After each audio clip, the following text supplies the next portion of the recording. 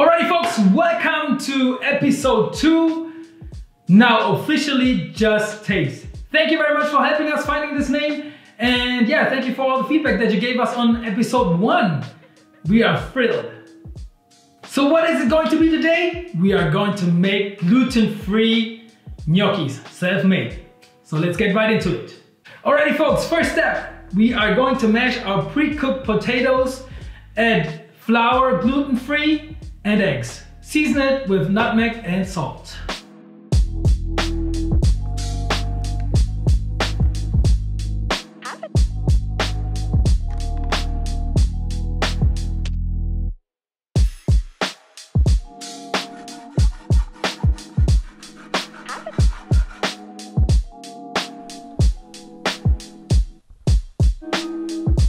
So now we got our mess ready and we are going to start to make our gnocchis. We will first put a little bit of flour on the board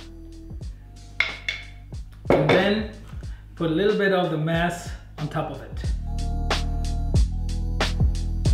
Now we will have to work with our hands. Form it, be gentle, and give it a nice form. Work with two hands slightly. So we're going to roll this out and later on cut our pieces and use a fork to form the gnocchis.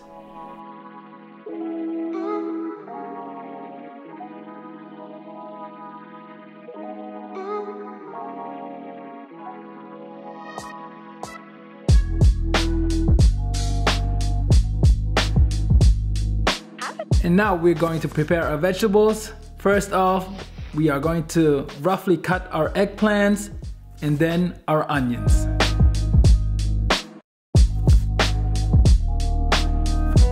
Alrighty folks, we're in the kitchen now. We're going to prepare our eggplant cream. For that, we will roast the eggplant in olive oil with garlic and onions. And when it's done, we're going to mix it so it's a nice creamy sauce.